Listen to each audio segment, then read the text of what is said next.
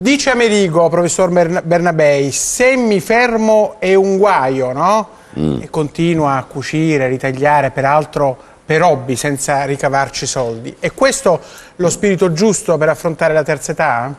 Sì, ovviamente sì, eh, eh, però eh, il signor Amerigo, così come il signor Vaime, eh, hanno una, una, benedizione che non hanno nemmeno cercato, che gli è piombata addosso, perché siamo invecchiati in modo velocissimo, perché, contraddicendo le teorie evoluzioniste, in modo totale, nel giro di 50 anni l'età media è passata dai sfiorava i 60, oramai siamo ben oltre gli 80, senza che il signor Weimar e il signor Amerigo abbiano fatto nulla di particolare, loro, così come tutti i grandissimi vecchi, ricordiamo siamo il paese più vecchio del mondo.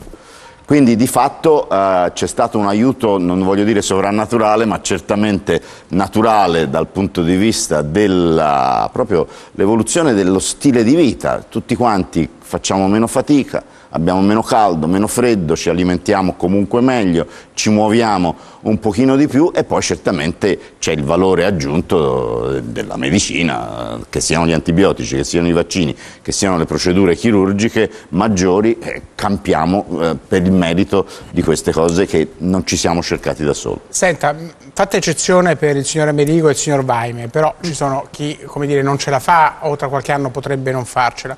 Per queste persone qui, a suo giudizio, giudizio, il nostro paese è attrezzato?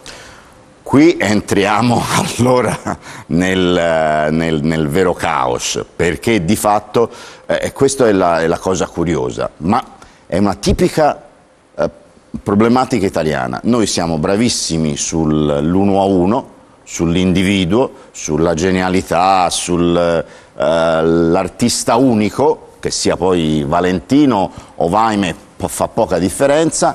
Uh, siamo assolutamente inadeguati, ma è inutile accusare la politica. Noi, noi italiani, siamo geneticamente inadeguati a organizzarci, averci uno straccio di metodo per cui siamo il paese più vecchio del mondo? Bene, bisogna fare una serie di cosucce.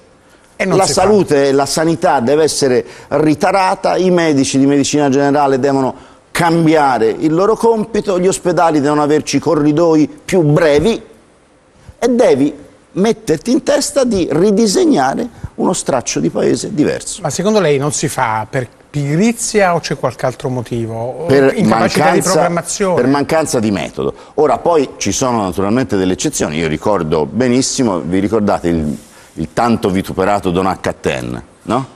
Uno strepitoso ministro strepitoso ministro perché era uno che, mm, mi ricordo, radunò in una settimana a Gargonza tutti i massimi esperti del paese, stette un po' a sentire, per esempio la settimana successiva disse bene, qui bisogna fare 140.000 posti letto, 140.000 posti letto, è un numero che fa paura perché siamo un paese vecchio.